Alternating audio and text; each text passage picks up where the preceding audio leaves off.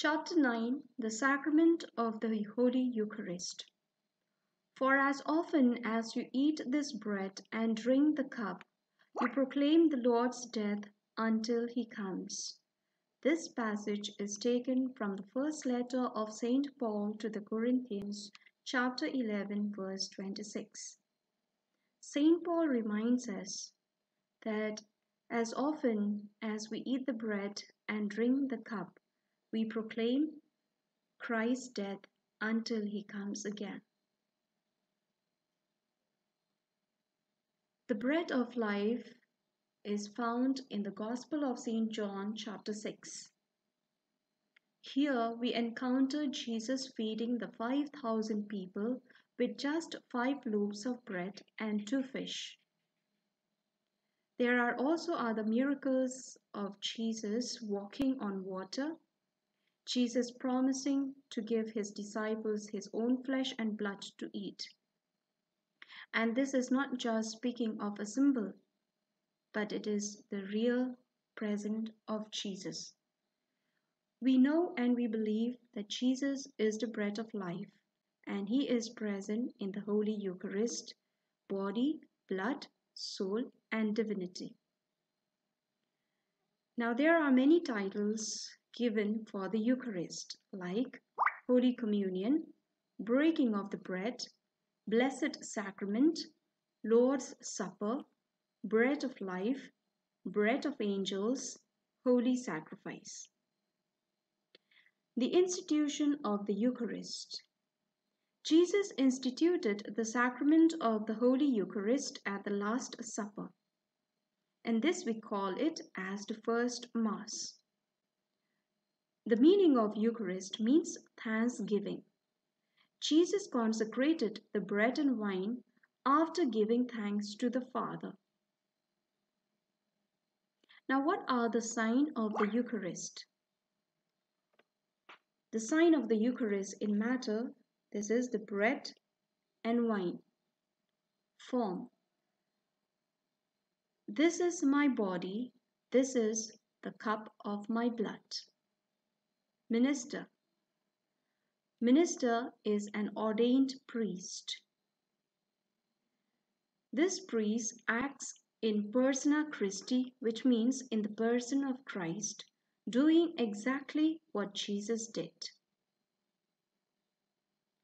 Bread. Bread made from wheat, which is destroyed and uh, formed into one loaf. We die to sin, united with Jesus. This is the meaning of uh, of the bread. Wine. It is made from crushed grapes used around the world for meals and celebration. Now, what is the meaning of transubstantiation? Transubstantiation means the bread and wine are changed into the body, blood, soul, and divinity of Jesus Christ during the words of consecration. Appearance of bread and wine, it remains the same. The real presence, the fact that Jesus is really and truly present in the Holy Eucharist under the appearance of bread and wine. Now, in every churches, you will find a tabernacle. What is this tabernacle? Tabernacle is the special solid and immovable container in which the Blessed Sacrament is kept, and it is often adorned with symbols of Jesus. The effects of the Eucharist. What are the results when, when we receive the Holy Eucharist or when we love the presence of Jesus in the Eucharist?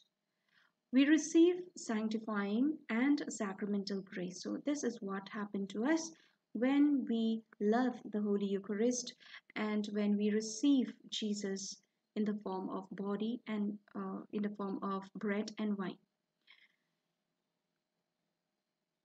The effects of the Eucharist also, uh, the venial sins are forgiven.